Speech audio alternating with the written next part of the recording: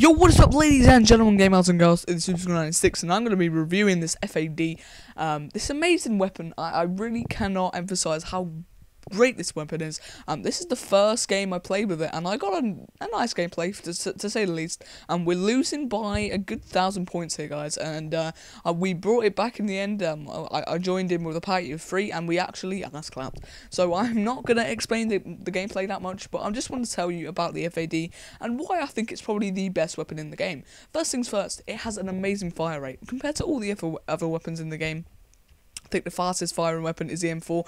Other than this, uh, apart from you know the burst weapons and whatnot, um, but you know the M4 is not my favorite weapon. It's a decent weapon to say the least, but it's not my favorite um, because it, it, I really in Black Ops, I really did like the FAMAS and the AUG and the Stoner and all those weapons that really had a fast fire rate because I could easily control those weapons in recoil and really get those easy kills at range. You know, it, people seem to forget that it, it, was a very good weapon at range if it had a, a very fast fire rate as well as if it was great at up close.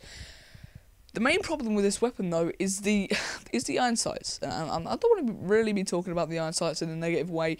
Um, it's a decent iron sight, but the problem that I have with it is the fact that the it's not very. It doesn't really indicate where the where the enemies are. You know, it, it's kind of all over the place in a way. You know, I don't really like it. It, it reminds me of the P90 sight. What the hell was I doing there, Rage?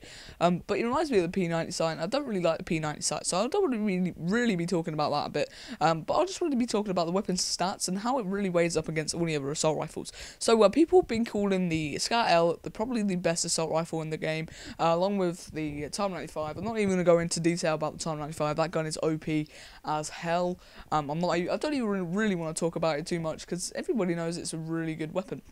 But um, this this FAD has a thousand shots per minute. That is faster than the FAMAS. That is that's a stupid amount of, of, of, of bullets per minute. You know, that's that's stupid. A thousand. Um, you know it. For me, it almost handles exactly like the AUG. I, I find it a bit more like the AUG and than the FAMAS, even though it, it is very similar to the FAMAS. Um, but I, I, I would say more like the AUG. The iron sights aren't great, um, but one thing I do like about it is the amazing damage it has. It has a 35 damage, exactly the same as a Scar L, and it just you know just tears up every single time you you use it. So uh, nice little gameplay there, guys. It wasn't a very long one. I will promise more gameplays and more commentaries soon. Uh, thanks for watching, guys, and I'm out.